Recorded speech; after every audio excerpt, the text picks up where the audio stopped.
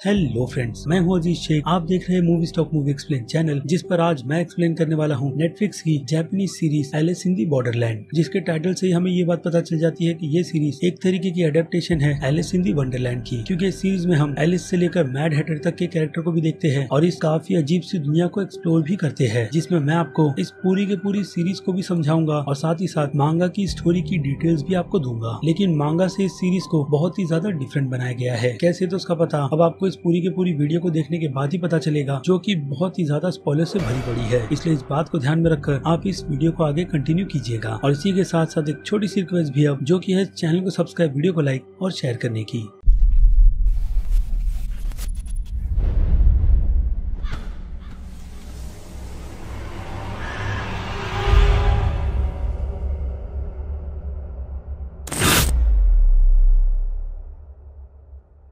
सो friends तो Alice in the Borderland की कहानी की बात करें तो कहानी का पूरा पूरा फोकस सीरीज़ के स्टार्ट में तीन कैरेक्टर्स पर रखकर किया जाता है, जिसमें से सीरीज़ का सबसे लीड कैरेक्टर अरिसु है, जो कि एक गेमर और काफ़ी ज़्यादा इंटेलिजेंट पर्सन है। न कि नेटफ्लिक्स की अलाइव की सीरीज़ ओजुंग वुंग के कैरेक्टर की तरह, जो गेमर रहने के बावजूद भी काफ़ी ज़्यादा बेवकूफ़ दिखाया गया था। पहले ये सीरीज़ हमें बताती है कि गेमर्स कितने ज़्यादा स्मार्ट होते हैं उनका दिमाग काफ़ी बुरी सिचुएशन में कैसे चलने लगता है, खास करके सिचुएशन रियल लाइफ में भी गेम जैसी हो तो। लेकिन अगर रियल लाइफ में देखा जाए तो अरिसो सिर्फ़ गेमर के हिसाब से ही अपनी पूरी की पूरी ज़िंदगी काट रहा है। जो चीज़ उसके भाई को बिल्कुल भी पसंद नहीं आती, और एक टाइम पर तो उसका भाई अरिसो को ये तक कह देता है कि वो इस खानदान में सबसे बड़ा पैरासाइड है। लेकिन फिर भी ना चाहते हुए अरिसो के भाई ने उसके लिए एक इंटरव्यू की अरेंजमेंट करवाई है, जहाँ जाकर बस उसे इंटरव्यू देना है और काम पर लग जाना है, जिसकी वजह से वो अपनी लाइफ में दूसरी चीज़ों पर भी फोकस कर सकता है। लेकिन अरुसु हर बार की तरह इस इंटरव्यू को भी स्किप कर देता है। तो शायद अरुसु की ऐसी हालत, उसकी मॉम की ट्रेजिक डेथ की वजह से ही हुई होगी, जिसके बाद से ना तो उसे उसके पिता और ना ही उसका भाई ज़्यादा पसंद करते हैं। तो ये बात हो गई अरुजो की, और उसके बाद आ जाए अरुजो के बेस्ट फ्रेंड करूबी पर। तो करूबी की जॉब अच्छी थी एक बार में, लेकिन वहाँ पर बार की ओनर की वाइफ से उसके चक्कर की वजह से उसे उस जॉब से मार मार कर निकाल दिया जाता है। और फिर इस ग्रुप का आखिरी मेंबर छोटा है, जो अपनी लाइफ में सैलरी काफ़ी कम कमाता है, और उतनी कम सैलरी में से भी पैसे उसकी माँ आकर ऑलमोस्ट सबके सब ले जाती है, हर बार किसी न किसी तरीके का बहाना लेकर आकर। यानी वो जॉब छोटा की लाइफ में कुछ खास कमाल नहीं कर रही थी। यानी कुल मिलाकर देखा जाए तो इन तीनों की ही लाइफ काम से लेकर हर एक एंगल में पूरी तरीके से बिगड़ी हुई है। और इन तीनों को ही नए जॉब की ज़रूरत है। लेकिन शायद अरुजो को बिल्कुल भी नहीं, जो इन सब में बिल्कुल भी इंटरेस्टेड नहीं है। और इसके अलावा इन तीनों का एक ही सपना है की वो लोग इस बेकार सी दुनिया को छोड़कर दूसरी किसी अच्छी दुनिया में चले जाए। और एक दिन ऐसा ही होता है तब जब ये तीनों मीटिंग के लिए मिलते हैं और उस मीटिंग में रोड पर ही इन तीनों की मस्ती शुरू हो जाती है। जिसके बाद जैसे ही ये लोग पुलिस से बचते हुए बाथरूम में खुद को बंद करते हैं तो वहाँ से बाहर निकलने के बाद ये लोग नोटिस करते हैं कि ये लोग अपने ही शहर में है, लेकिन शहर के सारे के सारे लोग पूरी तरीके से गायब हो गए हैं, जो कि शो की सबसे बड़ी मिस्ट्री है, जिसे अभी तक तो फ़िलहाल इसके पहले सीज़न में खोला नहीं गया। यानी कि किसे भी नहीं पता कि आरुष और उसके दोस्त अपने ही शहर में है, या फिर दूसरे किसी डायमेंशन में, जो उनके शहर के ही जैसा दिखता है। तो पहले तो उन्हें ये दुनिया अच्छी लगती है, लेकिन बाद में उन्हें पता चलता है की इस दुनिया में रहने के लिए उन्हें किसी तरीके का गेम खेलना है, जिस गेम के बाद उन्हें परमिशन मिलती है इस दुनिया में रहने की। और ये सारे के सारे रूल्स उन्हें शिवो की नाम की कैरेक्टर बताती है, जो इस दुनिया में उनसे पहले आई है। और ये गेम उन लोगों की सच में जान लेता है, जिसके बाद वो तीनों डिसाइड करते हैं कि वो लोग इस गेम को नहीं खेलेंगे। लेकिन फिर सिरुबुकी उन तीनों को बताती है कि उन लोगों ने गेम में ऑलरेडी एंटर कर लिया है, जहाँ से अगर वो निकलने की कोशिश करेंगे तो एक इनविजिबल लेजर उन लोगों को वहीं पर मार देगी। और गेम में भी वो लोग वैसे ही मरने ही वाले हैं। लेकिन अरुसु के रहने की वजह से ऐसा नहीं होता, क्योंकि अरुसु गेमर है, जिसका दिमाग काफ़ी ज़्यादा चलता है बट उसे वो वहाँ पर एक और लड़की की डेथ के बाद चलाता है। और जैसे तैसे कर कर वो चारों वहाँ पर से ज़िंदा बचकर निकल जाते हैं। यानी कि उन चारों ने इस गेम को पार कर लिया है, जिस गेम के पार करने के बाद उन्हें रिवॉर्ड एक नंबर कार्ड का मिलता है, और साथ ही साथ तीन दिन का वीज़ा भी। यानी तीन दिन तक वो लोग इस शहर में घूम फिर सकते हैं और कुछ भी कर सकते हैं। लेकिन तीन दिन के बाद उन्हें फिर से वीज़ा को रिन्यू करवाना होगा। फिर से ऐसे ही किसी मौत के गेम को खेल कर जिनमें से हर एक गेम को पार करने के बाद उन्हें ऐसा ही नंबर का कार्ड मिलता है, जिसकी वैल्यू इस शो में कितनी ज़्यादा इम्पोर्टेंट है, उसके बारे में मैं आगे बात करूँगा। और अगर वीज़ा खत्म हो जाता है तो उनका हाल सीरीज़ में दिखाए गए इसी कैरेक्टर की तरह होता है, जिसने पूरी तरीके से उम्मीद छोड़ दी है कि वो कभी भी इस गेम को पूरा पार कर कर इस दुनिया से बाहर निकल सकता है, जिसकी मौत हमें दिखाई जाती है, ताकि हम भी समझ जाए कि ये दुनिया कितनी ज़्यादा खतरनाक है। वेल उसकी मौत आसमान से आई हुई एक लेजर से होती है, जो कि एग्जैक्ट उसके वीज़ा के खत्म होने के बाद उसे मार देती है। यानी अगेन इन चारों के लिए सिचुएशन करो या मरो जैसी है। लेकिन अभी तक इस शो में जो कार्ड दिखाए गए हैं, वो कार्ड कोई भी फेस कार्ड नहीं है। यानी कि किंग क्वीन एंड जोकर जैसे कार्ड अभी तक इन कैरेक्टर्स के सामने नहीं आए हैं। और जो भी कार्ड इनके सामने आते हैं, वो सारे के सारे नंबर्स के होते हैं और साथ ही साथ हर एक गेम के कार्ड के सिंबल के हिसाब से रूल्स होते हैं, जिससे उन्हें पता चलता है कि कौन सा गेम कितना ज़्यादा खतरनाक है और कौन सा नहीं, जिसकी इन्फॉर्मेशन उन्हें एक बंदा देता है, जिनमें डायमंड सबसे ज़्यादा खतरनाक कार्ड है। और इसके अलावा हार्ट के कार्ड में किसी न किसी को धोखा देना होता है और क्लब्स के कार्ड में टीम अप करके गेम खेला जाता है और स्पेड्स के कार्ड में ये गेम आपको फिजिकली बहुत ही ज़्यादा टॉर्चर करता है, जिसमें हम हार्ट्स के कार्ड में इन चारों को फंसा हुआ देखते हैं, जिसकी वजह से हमें पता चलता है कि सीरीज़ का अकेला और मेन कैरेक्टर इन चारों में से सिर्फ़ और सिर्फ़ अरिसु ही है, क्योंकि बाकी के तीनों के तीनों इसी गेम में मारे जाते हैं, जिनकी मौत का जिम्मेदार अरिसु हर बार इस पूरे के पूरे सीज़न में खुद को ही मानता है कि वो इस गेम को जीतना डिजर्व बिल्कुल भी नहीं करता था, बल्कि इस गेम को करीबू को जीतना चाहिए था। लेकिन इस गेम को खेलने से पहले छोटा और शिबुकी के बीच की हमें रिलेशनशिप दिखाई जाती है, और इसके अलावा अरिसु और करीबू टीम अप करके एक क्लब्स का गेम खेलते हैं, जिस गेम में उन्हें द बीच नाम की कम्युनिटी का पता चलता है, जो लोग एक साथ इस दुनिया में रहकर सर्वाइव कर रहे हैं और इन गेम्स को खेलते हैं। और वहाँ पर हमें बीच के कुछ मेंबर भी उस गेम को खेलते हुए नज़र आते हैं, जिनमें से सबसे ज़्यादा इंटरेस्टिंग कैरेक्टर शिहिया और अगुनी है, जिनमें से शिहिया ने अरिजू की स्किल्स को काफ़ी अच्छी तरीके से देखा है कि वो कैसे टीम अप कर कर बाकी दूसरे लोगों को इस गेम को खेलने में मदद करता है। और इसके अलावा हमें यहाँ पर सीरीज़ की लीड कैरेक्टर उजाकी भी नज़र आती है, जो हर गेम को अपने हिसाब से खेलकर इस दुनिया में सर्वाइव कर रही है। तो जब पहले करूबू और अरिसी मिलके जब इस गेम को खेलते हैं तो वो लोग डिसाइड कर लेते हैं कि वो लोग इस गेम को खेलने के बाद द बीच की कम्युनिटी का पता लगाएँगे। लेकिन वहाँ जाने से पहले उन लोगों को एक और गेम खेलना होता है, जिस गेम में ऑब्वियसली अरिसु ही बचकर बाहर निकलता है, जिसने अब पूरी तरीके से उम्मीद छोड़ दी है इस दुनिया में और किसी गेम को खेलने की। लेकिन यासुगी के बोलने के बाद वो कन्विंस हो जाता है इस दुनिया में रहकर गेम खेलने के लिए और ये पता लगाने के लिए कि एक्चुअल में इस गेम का मास्टरमाइंड है कौन, जिसके लिए उसे बीच जाकर थोड़ी और जानकारी निकालनी होगी। लेकिन उसके पहले अरिसु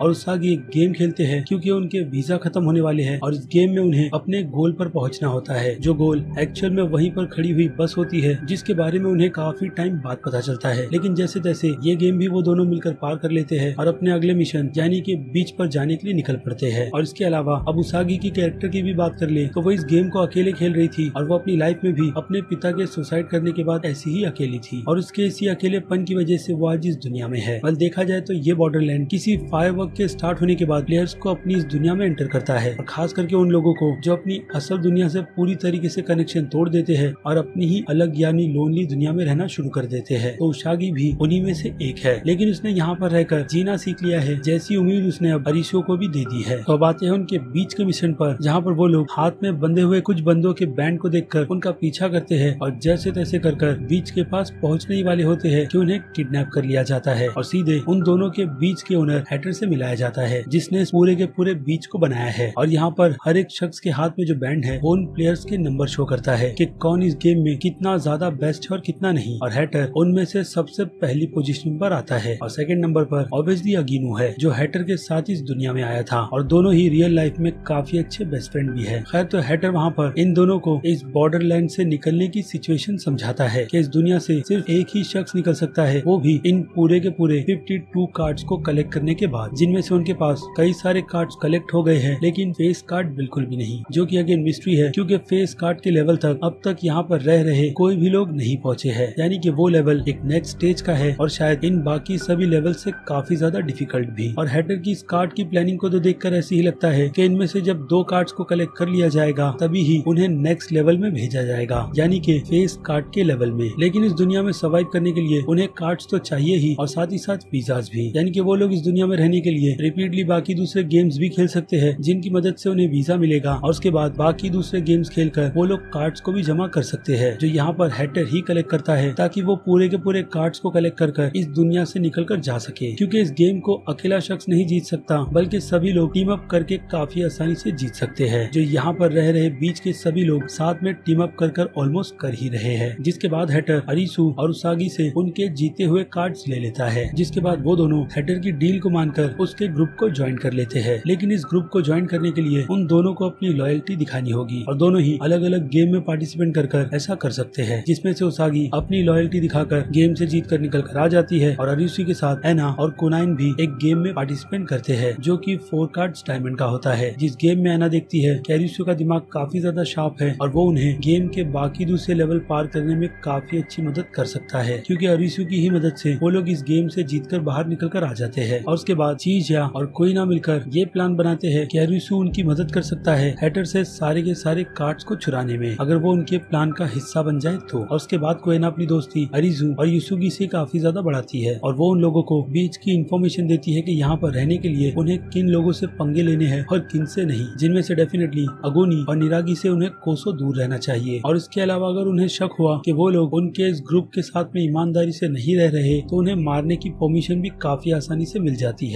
तो नीचे पार्टी के वक्त येशिया किसी न किसी तरीके से अरिसू को कन्विंस कर लेता है हैटर के कार्ड चुराने के लिए, जिसे चुराने के लिए अरिसु सीधे उसके रूम में जाता है और सेफ़ को खोलने की कोशिश करता है, जिस सेफ़ का नंबर चेशिया ही उसे बताता है, जो नंबर लास्ट बॉस के आखिरी नाम पर है। लेकिन वो कोड पूरी तरीके से गलत होता है और अरिजू को पकड़कर सीधे बंद कर दिया जाता है, वो भी बेरहमी से मारकर लेकिन इसी बीच चीशिया ने ये पता लगा लिया है कि एक्चुअल में अगुनी और हैटर अपने कार्ड्स को कहाँ पर छुपा कर रखते हैं, जो कि एक रेन की पेंटिंग के पीछे होती है, जिसे चेशिया काफ़ी आसानी से हासिल भी कर लेता है, क्योंकि उसने अरिसु को वहाँ पर बस एक ट्रैप में भेजा था, ताकि वो पता लगा सके कि असली कार्ड कहाँ पर है। जब उसे मिल गए हैं, लेकिन जैसी ही चेशिया और क्योनी इस बीच से निकलने वाले होते हैं तो वहाँ पर एक और गेम शुरू हो जाता है, जिस गेम का नाम है विच हंट, और ये गेम टेन हार्ट कार्ड का है, जिसका नाम विच हंट है। लेकिन इस गेम के शुरू होने से पहले बीच पर और भी कुछ होता है, जो कि हैटर की मौत है, जो तब होती है जब हैटर किसी गेम में पार्टिसिपेट करने जाता है, और उसी का मौका चेशिया उठाकर हरीसू को वहाँ पर कार्ड चोरी करने के लिए भेज देता है। लेकिन अब किसी को भी नहीं पता कि उस गेम में हैटर की मौत कैसे हुई, क्योंकि उसे बुलेट लगी है। लेकिन अरिसु इस बात को समझ जाता है कि हैटर को और किसी ने नहीं, बल्कि अगुनी ने मारा है, जो कि हैटर का बेस्ट फ्रेंड था और वो हैटर की बहुत ज़्यादा केयर भी करता था। लेकिन कहीं ना कहीं उसे लग रहा था कि हैटर ने अपनी लिमिट को क्रॉस कर दिया है, जो कि ऑब्वियसली वो कर चुका है। जिसमें से एक झूठ तो यही है कि किसे भी एक्चुअल में नहीं पता कि इस गेम को पूरे कार्ड्स को कलेक्ट करने के बाद भी खत्म किया जा सकता है या नहीं। बल्कि हैटर ने इस बीच को यहाँ पर राज करने के लिए ही बनाया है, ताकि जो वो अपनी असली दुनिया में नहीं कर सका, वो यहाँ पर वो कर सके। और इतनी ज़्यादा ताकत मिल जाने की वजह से उसका दिमाग खराब हो गया था, जिसके बाद उसे अगुनी समझाता भी है कि उसे ये सब नहीं करना चाहिए, लेकिन हैटर उसकी बात नहीं सुनता, जिसके बाद जाकर अगुनी अपने बेस्ट फ्रेंड को मार देता है। और उसकी मौत की वजह से अगुनी ने सभी के सभी लोगों को जिम्मेदार समझ लिया है, जितने भी लोग बीच पर रहते हैं उन सभी को। और जबकि वो अब लीडर बन गया है तो वो अपने लोगों को ऑर्डर भी दे देता है, बीच पे रह रहे सभी लोगों को मारने का, क्योंकि वहाँ पर जो गेम शुरू हुआ है, उसमें बीच को हंट करना है और यही पता लगाना है कि उन लोगों के बीच बीच कौन है और किसने मोमोका को मारा है, जिसकी मौत का पता लगाने का जिम्मा एना को दिया जाता है, क्योंकि वो फॉरेंसिक एक्सपर्ट है जो फिंगरप्रिंट्स की मदद से ये पता लगा लेती है कि मोमोका को और किसी ने नहीं बल्कि उसने खुद ही ने मारा है, यानी कि वही बीच है। लेकिन उसकी इस रिज़ल्ट से पहले वहाँ पर काफ़ी लोगों को मारा भी जाता है। लेकिन बाद में रिजू अगुनी की पोल सबके सामने खोलकर उसे पूरी तरीके से हारा हुआ महसूस करवाता है, जिसके बाद अगुनी अपनी दोस्त की मौत की गिल्ट की वजह से खुद को ही बीच बताना शुरू कर देता है। लेकिन बाद में जो मैंने आपको डिटेल दी अरिसू लोगों के सामने वही रखकर अगुनी को मरने से बचा लेता है। लेकिन इसी बीच निगिरा आकर लोगों पर फायर करता है, जिसके बाद अगुनी उसे लेकर सीधे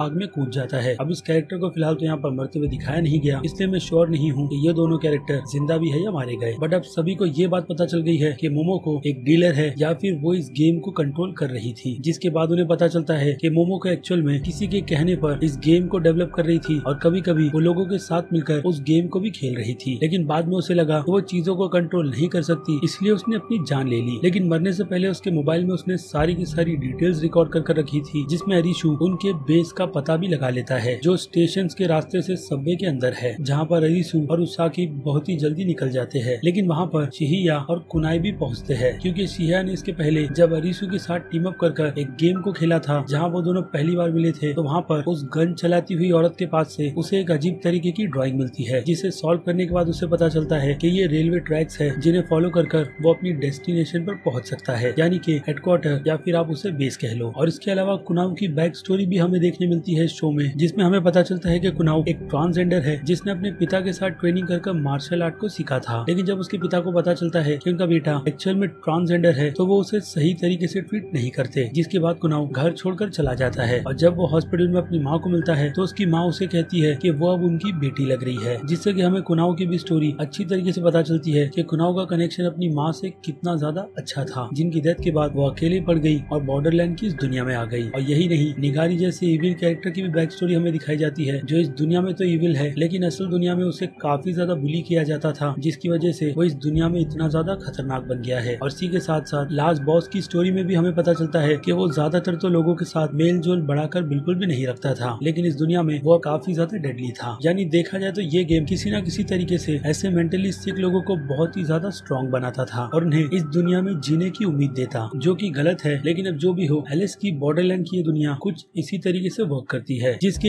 एंड में फिर जब राज खोले जाते हैं, जैसे कि उस बेस पर जब वो चारों पहुँचते हैं तो वो लोग नोटिस करते हैं कि इस बेस के सारे के सारे लोग उसी लेजर के गिरने की वजह से मारे गए हैं। यानी कहीं ना कहीं वो सभी लोग अपने इस गेम को सेट करने में नाकाम हुए, जिनका यहाँ पर काम सभी प्लेयर्स पर नज़र रखकर ये चेक करना था कि वो लोग अपने काम को सही तरीके से कर भी रहे हैं या नहीं। और साथ ही साथ इस बेस में उन प्लेयर्स पर बैटिंग भी चलती थी, जिसके बारे में आगे ज़्यादा डिटेल नहीं दी गई। लेकिन अगर उन डिटेल्स की बात करें तो इस शो के सेकेंड एपिसोड में सिवो की जब अरिसियो उसके दोस्तों के साथ बैठी होती है तो वो यही बताती है की यूरोप में किसी तरीके की वीआर टेक्नोलॉजी को डेवलप किया गया है, जिसमें पूरी की पूरी दुनिया को उसका रेप्लिका बनाकर लोगों के सामने जब प्रेजेंट किया जाता है तो लोग कंफ्यूज रहते हैं कि वो लोग असल दुनिया में है या फिर वी की। तो शायद ये सभी उसी वी की दुनिया में है। कैसे तो उस पर भी बात कर लेते हैं, जिसमें याद होगा कि हरीसू को उसका भाई एक इंटरव्यू के लिए बोलता है और शायद हो सकता है कि उसी इंटरव्यू में ये लोग गए होंगे। क्योंकि हरीसू के दोनों के दोनों दोस्त अपनी जॉब से खुश नहीं थे और शायद उस कंपनी में जाने के बाद उनके दिमाग को पूरी तरीके से इस दुनिया में डाल दिया गया और उनकी बॉडी असल दुनिया में ही है। अब याद रहे, ये डिटेल मैं आपको मंगा से बिल्कुल हटकर दे रहा हूँ, क्योंकि मंगा में स्टोरी काफ़ी ज़्यादा अलग है। और बात है इसकी एंड की स्टोरी पर, यानी कि सेकंड लेवल पर, जहाँ पर सेकंड लेवल को इंट्रोड्यूस मीरा करवाती है, जो बीच के बोर्ड की मेंबर थी। और एक हिसाब से उसके यहाँ पर देखकर आई मीन स्क्रीन पर देखकर, ये बात तो श्योर है कि मीरा हार्ट क्वीन है। तो वो वहाँ पर फेस कार्ड को इंट्रोड्यूस करवाती है, यानी कि नेक्स्ट लेवल को, जिसके बाद सारे के सारे शहर में फेस कार्ड के प्रोमो को शुरू कर दिया जाता है। और जी हाँ इसके पहले सीज़न को खत्म। यानी कि अब सेकंड सीज़न में क्या होगा, वो एक काफ़ी बड़ी मिस्ट्री है। तो अगर आपको वो मिस्ट्री के थोड़े बहुत क्लू चाहिए तो डेफिनेटली मैं आपको यहाँ पर दूँगा। लेकिन उसके लिए मेजर स्पॉइलर वार्निंग क्योंकि ये डिटेल मांगा से रिलेटेड है, जिसकी कॉमिक अभी भी ऑन चल रही है। यानी कि जितनी मेहनत अरिजू का कैरेक्टर इस दुनिया से निकलने में करेगा, उसके बाद मांगा के हिसाब से वो उस दुनिया में फिर से फंसने वाला है। वो भी तब जब उसकी वाइफ उसागी बच्चे को डिलीवर कर रही होगी तो यानी कि अभी की मांगा में, अरिजू का मिशन अपनी वाइफ और अपने बच्चे तक पहुँचने का है। क्योंकि इस गेम से अरिजू जीत कर ही बाहर निकलता है। वो भी उसागी के साथ, यानी कि बाकी सभी लोगों को मारकर, यानी कि हर एक कार्ड के लेवल के किंग एंड क्वीन को मारकर। और अब इस गेम के मास्टरमाइंड की बात करें तो बॉर्डरलैंड के पूरे के पूरे गेम को कंट्रोल मांगा के यूनिवर्स में जोकर कार्ड यानी कि जोकर करता है। जी हाँ जोकर जो कि एक गॉड है, और वो मांगा में कुछ इस तरीके का दिखता है। तो मांगा की दुनिया में जोकर यानी कि इस गॉड का काम लोगों की सोल को उनके सही रास्ते पर ले जाने का है। लेकिन मरने के बाद, जिसे अगर माइथोलॉजी के किसी ग्रीक गॉड्स के साथ कंपेयर किया जाए तो वो गॉड चैरन होगा, जिसका काम कुछ इसी तरीके का होता है। और हाँ इस कैरेक्टर की झलक हमने क्लैश ऑफ़ द फ़िल्म में भी देखी है। लेकिन अब मांगा में ये गॉड लोगों की सोल के साथ में ऐसे क्यों खेल रहा है, उसकी बात करते हैं, क्योंकि मांगा की कॉमिक में जापान में मीटियोर की बारिश होने वाली है। यानी कि उससे काफ़ी सारे लोग मारे जाएँगे और सोल्स बहुत सारी होगी। लेकिन उनके मरने से पहले जोकर उन्हें अपनी दुनिया में लेकर आता है, ताकि वो उनके साथ खेलकर अच्छा खासा टाइम इंजॉय कर सके। और इस सीरीज़ में हम मीटियोर की जगह काफ़ी सारे फायर को देखते हैं, जो शायद इसी मीटियर को रिप्रेजेंट कर रहे होंगे, या फिर बस उन्हें इस तरह के तौर पर डाला होगा, जिसकी डिटेल मैंने आपको पहले ही दी है, की वो एक सेलिब्रेशन है प्लेयर्स के इस गेम में आने का। क्यूँकी मेरे हिसाब से मुझे लगता है की गेम की स्टोरी को मांगा से अडॉप्ट तो किया गया है, लेकिन जोकर के एंगल को इस सीरीज़ में बदला जाएगा, यानी की उसी वी की टेक्नोलॉजी के हिसाब से। तो इससे एक और बात भी साफ़ होती है कि मीटियर के कॉन्सेप्ट को भी हटा दिया जाएगा। अब बस ये एक थियरी है, जिस पर मैं तो कोई कंफर्मेशन नहीं दे रहा, क्योंकि शो मांगा की कॉमिक बुक से बहुत ही ज़्यादा अलग है। ये बात मैंने बार बार रिपीट कर दी है, क्योंकि ऑलमोस्ट वीडियो खत्म हो चुकी है, और सारी की सारी डिटेल्स भी। और रही बात सीज़न वन में दिखाए गए कैरेक्टर्स की तो उनकी भी डिटेल्स को अभी के लिए तो राज ही रखा गया है, क्योंकि चेशिया के पास काफ़ी सारे कार्ड्स है, जिन्हें लेकर वो क्या करेगा और उसका अगला कदम क्या होगा, उसका पता तो हमें सीज़न टू में ही चलेगा। और हाँ सीरीज़ के बाकी सभी कैरेक्टर्स का भी, जिन्हें लेकर अब आपकी क्या राय है, उस बारे में मुझे कमेंट करके ज़रूर बताइएगा। और साथ ही साथ अगर आपको मेरी मेहनत जरा सी पसंद आई है तो मेरे इस वीडियो को भी लाइक करना बिल्कुल भी मत भूलिएगा, ताकि इससे मुझे मोटिवेशन मिलती रहे इस टाइप की तगड़ी सी वीडियो बनाने में। इसलिए लाइक करना तो बिल्कुल भी मत भूलिए। और अब चलिए खत्म करते हैं वीडियो को यहीं पर। मैं हूँ अज़ीज़ शेख, आप देख रहे थे movie stock movie explain channel जिसे अगर आपने अभी तक सब्सक्राइब नहीं किया है तो सब्सक्राइब कर लीजिए। और बगल में बने हुए बेल आइकन के साथ साथ नोटिफिकेशन को भी ऑल पर क्लिक कर दीजिएगा। इससे होगा ये की मैं अपने चैनल पर जब भी कोई नई वीडियो अपलोड करूँगा, आपको उसकी नोटिफिकेशन सबसे पहले मिलेगी। तो मैं मिलता हूँ जल्दी आपसे दूसरी किसी वीडियो में किसी और फ़िल्म या फिर किसी और सीरीज़ के एक्सप्लेनेशन के साथ। तब तक के लिए आप मेरे चैनल के बाकी दूसरे वीडियोस को एंजॉय कीजिए और Till then, bye.